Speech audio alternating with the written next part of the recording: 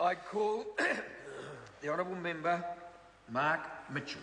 Thank you, Mr Chair. Just take uh, this opportunity to respond to some of the issues that have been raised by uh, the opposition.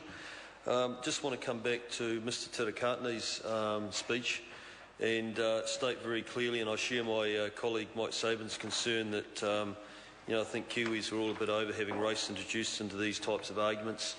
Um, this is a bill that relates to Asian triads, it relates to uh, the mongrel mob, it relates to the Hells Angels. Um, if your friends want to wear leather jackets, um, I enjoy, some, I'm sure all of us in this house sometimes enjoy to go biking like uh, Mr Sabin was saying, or wear the leather jackets. If they want to wear leather jackets, there's nothing wrong with that. Mr Tirikatene, they can do that. But if they choose to put a mongrel mob patch or a black power patch on it, they're going to have to remove it and take it off when they go into a school or a government building. It's as simple as that. Um, how people qualify, how people get membership uh, to this club. If it's members, associates, or supporters, individually or collectively, promote, encourage, or engage in criminal activity, then they will find that they have their gang patches registered on the schedule. That is how you um, uh, get membership. Uh, in terms of uh, police leadership and whether or not this bill is actually going to make a real effect and give the, teeth, uh, give the police another effective tool to use in their fight against organised crime and gangs? The clear answer to that is yes. Uh, the great thing to see about our police service at the moment is it's got very strong leadership in the Commissioner Peter Marshall and his two deputies, Mike Bush and Viv Rickards. And actually, sadly, for, for a long time, uh, in my own personal opin opinion, I feel like uh, our police service lacked um, some strong leadership. Thankfully, now they have it. Uh, the feedback from the Police Association and the police is that this is a very good bill and it's going to provide them with a very effective tool to be able to take action and apply pressure and put pressure on our gangs, the gangs in New Zealand. So um, it's, not, it's actually not a waste of time. A bit disappointed to hear Mr Cunliffe say that. In fact, the, La the Labour Party at the moment really seem to be, uh, most of New Zealand really don't know what they stand for, and this is actually a great opportunity for them to, to put a stake in the ground and say, you know what, we are going to be strong on law and order and we are going to support this bill. Uh, wishful thinking, I don't think we're going to see that happen.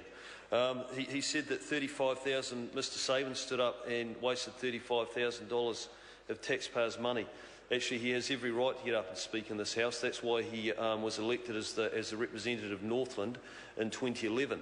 Uh, he, has a, he has a big history actually having to deal with and seeing the, um, the carnage and the victims associated with, uh, with gangs.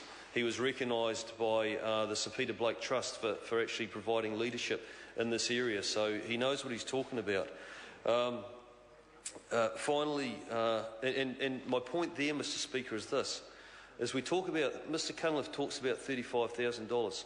You know what? That pales in comparison in terms of what gang and gangs and gang activity and criminal and criminal um, uh, organised crime and organised crime sponsored by gangs costs the taxpayer and costs this country every year. So I want everyone to sort of maybe think and, and, and reflect on that as well. He's right, this is not the panacea, and I've said myself this is not the panacea. But this is one very important part of giving our police a tool to be able to take action against gangs. Are the nurses in the uh, A&E going to want to be too bothered about having to ask gang members to remove their gang patches? Um, I, was, I visited North Shore Hospital recently. I can assure you that the nursing staff there and the sisters and the doctors, they're certainly no shrinking violets. They're more than happy. They'll do whatever they have to do to provide a good environment for the patients and the people under their care. But the beauty about this bill is that they don't have to do that. They don't have to tell a gang member to remove the patch. This bill allows for the police to come in and do that and remove any tension that may be created between nursing staff or medical staff and a gang patch member bringing a child in for treatment. So, and, and that really is in response to, um, to the issue that Ms uh, Ardern raised. So I hope that that has clarified some of the points that have been raised by the opposition. Thank you. I call the honourable member Darien Fenton. Mr Chair. It's uh, a pleasure to take a call